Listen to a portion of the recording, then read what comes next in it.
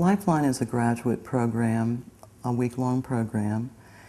and we really think of it as a program that has to do with service. And in the Lifeline program, people go beyond the states of consciousness that they've experienced and learned in the uh, Gateway program and the Guidelines program and move into realms of consciousness that exist beyond this physical matter reality.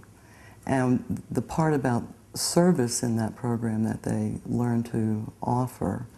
and provide is that they will be able to communicate with people perhaps who have left their physical bodies and yet for some reason are unable to move on and they feel somewhat stuck and perhaps don't recognize or realize that they've died. And so people in the Lifeline program learn how to go into those different states of, of awareness or consciousness, contact these people, and offer the assistance they need to move on. And in this case, we consider moving on going to a place that we call the park or the reception center or a way station.